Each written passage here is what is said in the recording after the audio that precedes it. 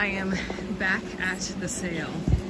And because uh, it's just rainy and nothing's happening. So everyone's just lounging around the house.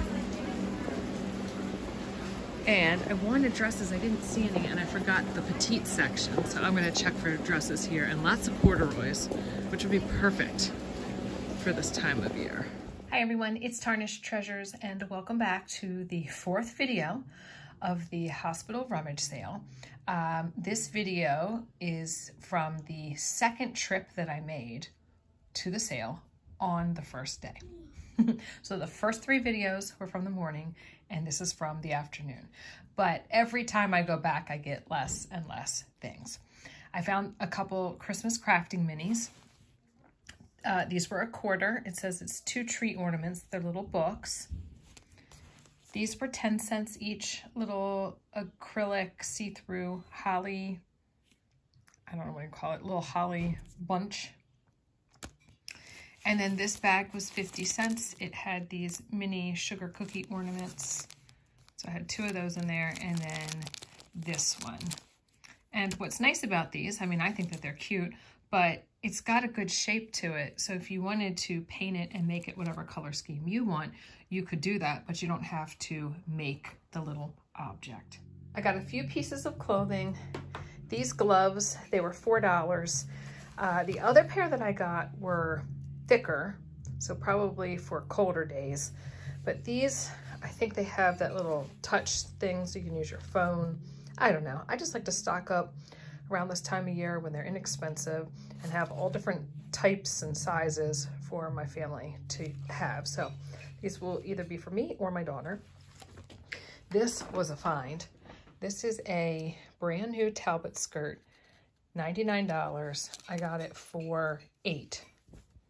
Very excited. And then Talbots jeans for six. I got this really cool tote bag with the lemons. I love the print. And I use reusable bags for everything and groceries and taking things into school. So I can always use another. Well, I shouldn't say always use another, but at the moment I've got some things stored in some of my bags at school. So I need some more for the grocery store. I got this candle. It's avocado and mint. It's a natural soy candle. It doesn't smell bad. Um, it smells more like mint. 40 hours. And I picked it up because when I went to Janet's house, she had the coolest candle in a very tall can. Um, and it was definitely an old vintage can. I thought it was so cool. So I haven't found a can as tall as hers yet. And then I took a can from like some string beans recently and washed it in the dishwasher and it just didn't have this cool old patina. So when I saw this that has a little brass look to it, I thought, oh, that's pretty cool. Because after I burn this, then I can put my own candles in it. And um, I don't know, I might put it maybe in the bathroom. I've been enjoying lighting a candle in there. These three kits uh, were $2 a piece and they are copper. They come with some copper wire because so you can make your own leaves, bend them and put designs in them because the copper is pretty thin. I like them just how they are. So we've got oak leaves, holly, and then maple. So it was three of the four were there at the store. And I thought, oh, somebody's already done all the work. I just need to pop these out and then I can get creative with them. Something like this, you could, all you have to do is use a pen, like a ballpoint pen or a pencil, and you can um, just indent right into them. So you could put someone's name and make it uh, a place setting at Thanksgiving, which is kind of what I'm thinking of putting these out at Thanksgiving. I bought another bag of buttons for $2. It had a bunch of mother of pearl and some glass, but these need to be soaked and cleaned. So I went through them and right there is one with a nice little carved design. And where else? Oh, this that one there. This is fun. It has this iridescent glass in a black grout and a uh, little flickering candle in there. It's wax. It's the four and eight hour. And I thought that would be neat um, in the guest bedroom. I like those colors and I like that iridescence. But it also reminds me of these glitter candles that I have here too. These Mrs. Grossman stickers were 50 cents. This bookmark was 50 cents. And it's uh, like a ribbon. They said it's a reproduction or it's modeled after ancient carpets of the Orient. If you had a dollhouse, that would be a perfect runner. These cards were a quarter and I got two. I love that. Just got a little muff there. And it says it is a paper doll circa 1880 from the Cooper Hewitt Museum. And the little postcards and papers were 10 cents each. So this one is uh, from Egypt. It says postcard Arab Republic of Egypt and then a uh, stamp from Jordan, and it said that they were in Jordan right now, going to Israel in a few days. Very interesting. Um, and when I was checking out, the woman said, oh, those were my mother's. And she just said, what was I going to do with them? I said, well, I guess I'm buying some now. Two postcards, blank postcards from the Shakespeare Hotel. And then this is a postcard. It's a photograph of Cannes. And it says 19, I can't see it, and then it's probably a two.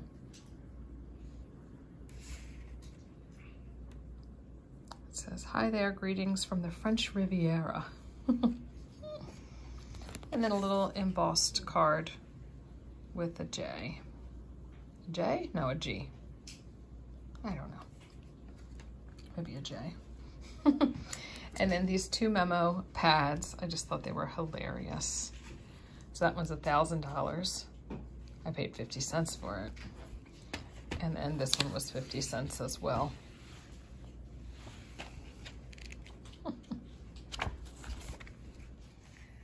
this is an interesting piece. So this CC means Curiosity Corner. And the lady that I know who um, works all the time at this sale, is in charge of it. And she just says when she sees pieces that catch her eye, she puts them there.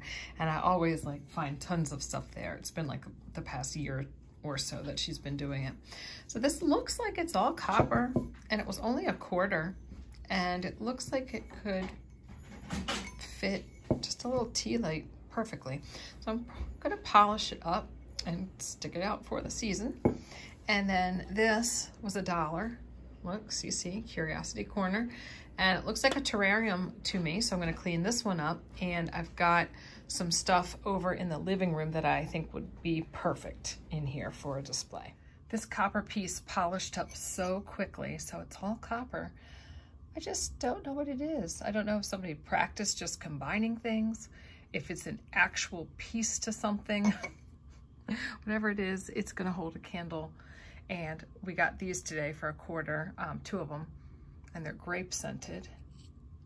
Fits perfect. I have these crystals and rocks. I put them in this glass case with this frog. And I can probably find some more things to fill it up. But I was looking for the perfect way to display those things. And I think that's it in this little area here, my curiosity area. I found these. Uh, these were in the boutique section. They were $25 for the three, so less than $10 each. And they're engraved. I was told that they're for bridge. And it says Fred Kraus, just these little aluminum books that I guess maybe you keep your scorecard in. And then this one is C.E. Ellsworth Kraus. Same thing. And then this is so neat. I think that this would have been something you kept in your wallet. Um, I don't know how stamps went along with bridge, but there's also a mirror in here and paper that doesn't have like the word bridge or tally on it. So this might have just been something that was something you put in your wallet or your pocket for a night out that could maybe have a few things in it that you'd need. Oh, I wonder if a pencil would have gone there. I bet it would have. And I was just missing. Um, or somewhere else at the sale. so games and points, and you can spin that. It says stamps. That's what the back looks like. And then it spins open. And in it reveals two pieces of very thick paper, like a thick, thick cardstock that has this interesting texture. I don't know if if you wrote on it in pencil, if you could just erase it or wipe it clean so you constantly could write on it, but there's no markings on it. And then the stamp area is just depressed on the inside, but maybe your stamps would have just sat in there. And then there's a mirror behind it all. That's a real mirror. So really cool pieces there. Some crafty bits. This bag was $1.50 and there are these large pearl buttons. Two of these darker purplish brown carved buttons and then a rhinestone. This piece here was 50 cents. Beads and stones. These little strawberries were a quarter. This frame was $1 and I have a smaller frame like this and it's nice to just frame a little image out of a book and a miniature for 50 cents and it's a little egg basket that says fresh eggs and it says Woolworth and I just think how long has this sat in someone's house unused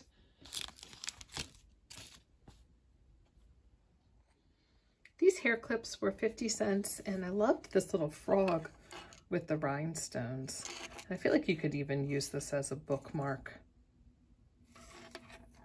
But if I can remove it, I'm going to use it for something else. And then these caught my eye. $4 for these clip earrings. Cool stone.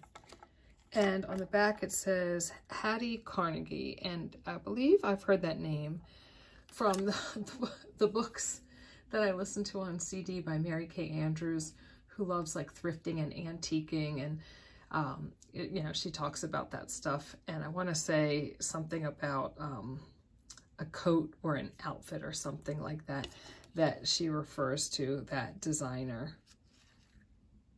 But I thought they were pretty. And then if she talked about it in her book, I thought, oh yeah, it's probably like a nice piece of costume jewelry.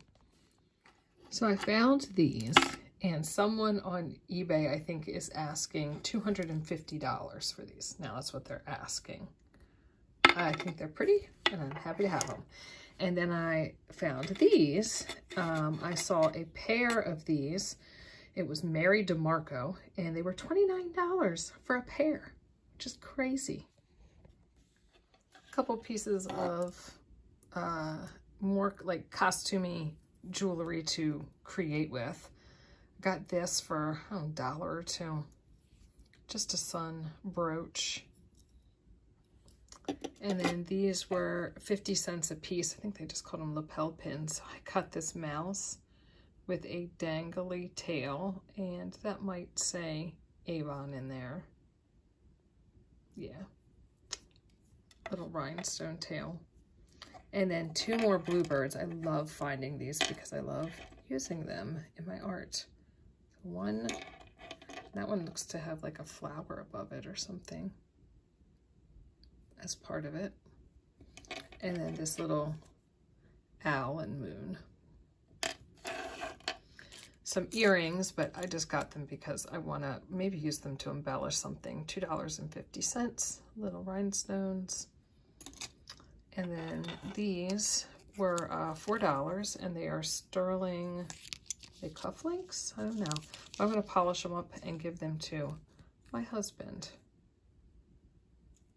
They a, a nice weight to them. They're marked, but I don't think with a brand. No, maybe it did have a brand. Simmons. It's marked on the side. It says Simmons Sterling. Black. These were $4. A pair of 14 karat gold filled earrings another piece of butterfly wing jewelry. A dollar for that charm. I think that was with the earrings probably. Um, and then these, let's see. So these were interesting because these are silver looking and the backs of these are gold. They were $3. Um, and when I brought them home, they are 14 karat gold, the posts and the backings. And that, is it lapis? It's not just a solid blue. And by the way, someone commented that I should get some type of magnifying screen and I ordered one from Amazon. It'll be here in a day or so. So you guys can see everything and even see how worse my nails are under the magnifier. So these were attached because there's the hole. You can just put it right through the post. So those were on there as well, but it's a different blue. It's more of like a periwinkle, a cornflower. I don't really see markings on that. I mean, it might polish up a little. So somebody just kind of combined them, but those are awesome for $3. There were three earrings on here. Um, two little whales that are as cute as can be. They're just regular metal, so I'm going to craft with those. And then the starfish are marked 925, and the little studs are 14 karat. These earrings were $5 and I thought my daughter would love them. On the back, they are marked Konplott and there's a little heart underneath. So I looked at that up and these are about $50 earrings. And it said that nothing was outsourced. They were all like handmade, handmade in-house. So that's pretty cool. So I think that's it for this haul. Thank you all for watching, and I'll see you in another video. Bye.